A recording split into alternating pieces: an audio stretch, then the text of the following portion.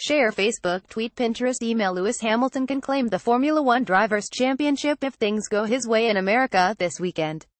Hamilton has been nearly unbeatable in America, winning five of the past six U.S. Grand Prix into the last three races at Circuit of the Americas in Austin, Texas.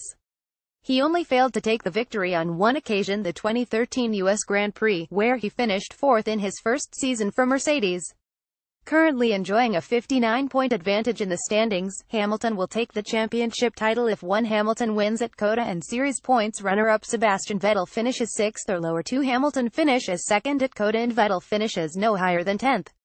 If Hamilton finishes second and Vettel ninth, Vettel would need to win the remaining three Grand Prix without Hamilton registering a single point, which would leave the two drivers tied on points and with seven victories each. The tiebreaker most second-place finishes would give Vettel the crown. Hartley's debut as Pierre Gasly heads back to Suzuka for the Japanese Super Formula season finale. 27-year-old Brendan Hartley steps into the vacant seat at Toro Rosso. He will team with Daniil Kvyat, who returns to the car for the first time since Singapore in mid-September. While Hartley is a Formula One rookie, the New Zealander has a fearsome record in sports car racing.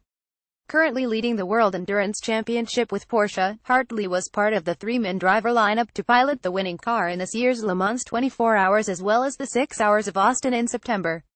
U.S. Grand Prix by the numbers 1959 the year of the first official U.S. Grand Prix 38 the number of official U.S. Grand Prix 6 number of circuits that have hosted the U.S. Grand Prix Sebring, Riverside, Watkins Glen, Phoenix, Indianapolis and the Circuit of the Americas three street circuits that have hosted the race, including the Long Beach Grand Prix United States Grand Prix West, Caesars Palace Grand Prix and the Detroit Grand Prix add to America's Formula One history five most race wins in America belong to Michael Schumacher 2000, 2000 2003, 2004, 2005 and 2006 and Lewis Hamilton 2007, 2012, 2014, 2015, 2016.9 Ferrari is a THE most successful manufacturer in America 56 number of laps in the 2017 U.S. Grand Prix 3.4 miles length of the Circuit of the Americas 139.347 fastest lap Sebastian Vettel 2,012,102 feet elevation change last year having suffered an engine failure in Malaysia and being able to finish a mere third in Japan, Hamilton knew that only victory would keep the flame on his championship hopes burning and he did exactly that.